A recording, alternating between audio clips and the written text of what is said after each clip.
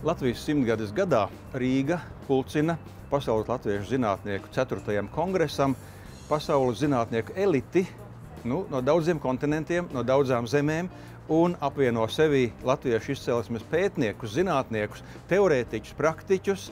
Mēs varam sacīt, ka šie zinātnieki ir izcilības jebkurā nozīmē, gan ar savām publikācijām, gan patentiem, gan izgudrojumiem, gan arī ar savu uh, atklājumu, ieviesumu ražošanā, tehnoloģijā.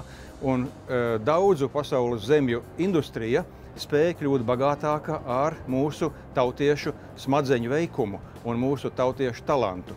Jā, nav aizmirsts vecais Aristoteļa izvirzītais jēdziens, ko nozīmē aretē - izcilība zinātnē, ko veido augsts intelekts, augsta ētika, liela atbildība un, protams, arī cilvēka harmoniskā, eh, fiziskā un garīgā eh, summa.